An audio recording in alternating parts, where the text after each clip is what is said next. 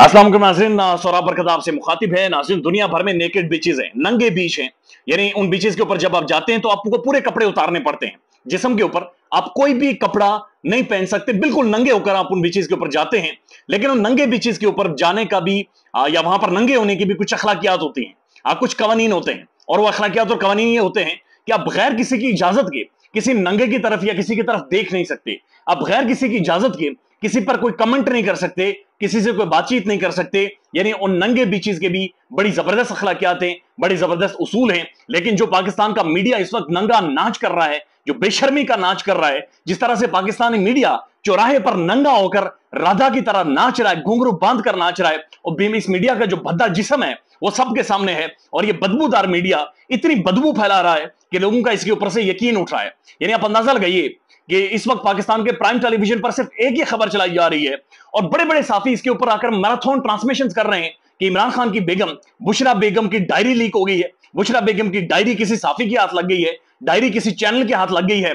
Diary पीली थी diary नीली थी। डायरी के अंदर से पेज फाड़े गए हैं। डायरी के अंदर बुशरा बीबी इमरान खान से ये कहती थी डायरी के अंदर बुशरा बीबी इमरान खान से वो कहती थी। जावेद चौधरी साहब कहते हैं कि डायरी के अंदर से ऐसा फार्मूला निकला है ऐसी बातें निकली हैं कि पाकिस्तान की एस्टेब्लिशमेंट पाकिस्तान की जुडिशरी के खिलाफ कोई प्लान बन रहा था। यानी एक दो नंबर किस्म की कैंपेन है, इतनी घटिया किस्म की कैंपेन है कि जिसे अल्फाज में बयान नहीं किया जा सकता और पाकिस्तान के तमाम तर साफी इसके ऊपर रिपोर्ट कर रहे हैं। यानी मैराथन ट्रांसमिशन हो रही है।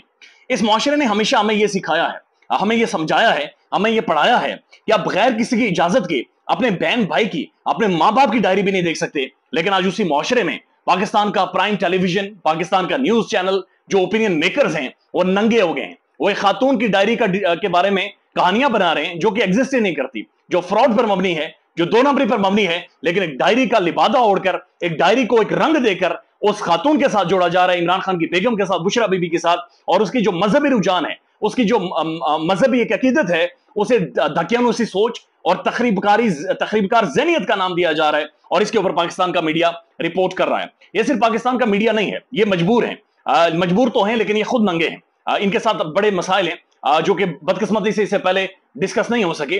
लेकिन ये सिर्फ़ पाकिस्तान का मीडिया नहीं है। मीडिया जिन्होंने कंट्रोल किया हुआ है, सोचें कि वो खुद कितने नंगे हैं, वो खुद कितने ज़्यादा अखलाकी तौर पर गिरे हुए हैं कि जो इतनी घटिया किस्म की, एक दो नंबर किस्म की कैंपेन पाकिस्तान की मीडिया के ऊपर चलवा रहे हैं। और यकीन करें कि ये सारी चीज़ें देखने के बाद एक चीज़ महसूस होती है कि असल में इस मुल्क में बहुत सारे झूठ बोले गए हैं, बहुत सारे फ्रॉड किए गए हैं। और ये सारी ज़िंदगी ये मीडिया ये किताबें, ये हिस्टोरियंस ये तारीख दान ये हमारे साथ झूठ बोलते रहे, ये हमारे साथ फ्रॉड करते रहे, हमें गलत तारीख पढ़ाते रहे, हमें बहुत सारी दो नंबर चीज़ें पढ़ाते रहे और हमारी तरबियत, हमारी जो नशनमा है, हमारा जो फ्रेम ऑफ़ माइंड है, उसको इस दो नंबर तरीके से बनाया गया है कि इस माशरे में कोई भी दो नंबरी बड़ी आसानी के साथ बदकिस्मती से फैलाई जा सकती है। बड़ी